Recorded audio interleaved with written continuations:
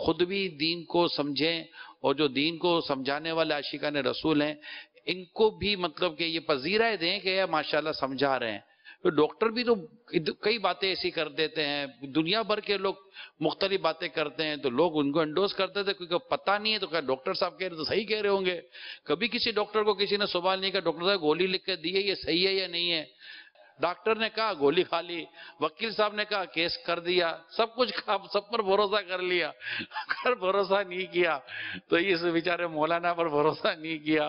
तो मैं चाह रहा था कि इनको आपको ऐसी खूबसूरत सी, प्यारी सी नसीहत करें। अल्लाह करे कि इनके दिल में ऐसी बात उतर जाए और ये खुद भी दुरुस्त रास्ते पर चल पड़े और दूसरे भी दुरुस्त रास्ते पर चलें। ये मरज भी है पुराना। ये तबका जो है पुराना है। और सोशल मीडिया की वजह से इसको भी फरोग मिल रहा है। ये वाक्य बयान किया हदीस बयान की तो हवाला नहीं दिया। अब कोई आलिम मुस्तनद बयान करता तो उस आलिम का बयान करना ही तो हवाला है। अब कोई जान जान कर कह दे, जाओ बुखारी शरीफ की फुला जिद पर, फुला पेज पर देख लो। अपने दादा ने भी कभी बुखारी शरीफ पढ़ी है? देखी भी नहीं होगी। पता है बुखारी शरीफ के हिस्से कितने? या पूछोगे तो बगले झाकेंगे हाँ यार, ये कितने कितने कितने? पता ही नहीं।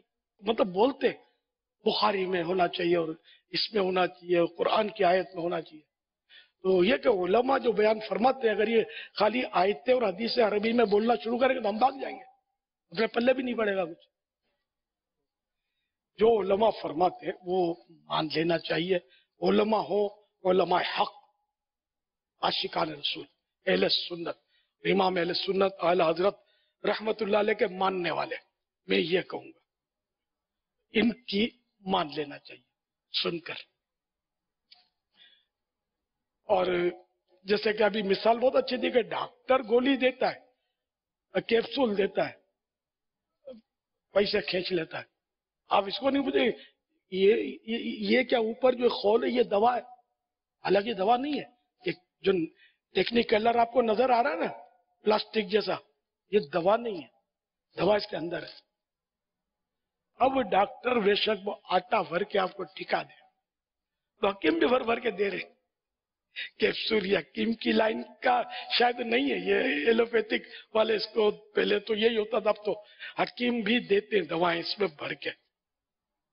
तो अगर हकीम साहब ने ये कैप्सूल में भर कर दिया, किसी ने पूछा कि, है क्या? हो सकता है खाली नफ्सियात ये असर डालने के लिए।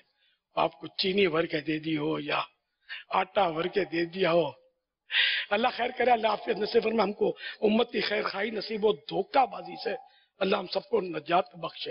वो बहरहाल ये के ओलमा के बारे में बोलना, ये कहाँ से ले आया, ये किससे कहानी सुनाते ये भी एक बड़ी मुसीबत है। ये बस बोल देते ये मौलाना, छोड़ो यार, ये तो किससे कहानी सुनाता है? फुला मौलाना, इसका क्या यार सुने यार तो किससे कहानी सुनाता है? ये किस्से कहानी कहकर नवजो बिल्ला तोहिन नहीं करनी चाहिए। और आने करीम में बेशुमार किस्से हैं। सूरत नमल नमल माने चूंटी। तो इनमें चूंटी की हिकायत है। सुलेमान सलाम की। अब यही हिकायत हम कुरान की आयत तो बड़े बगैर बयान कर दें तो बोले मौलाना किससे कहानियाँ सुना दे।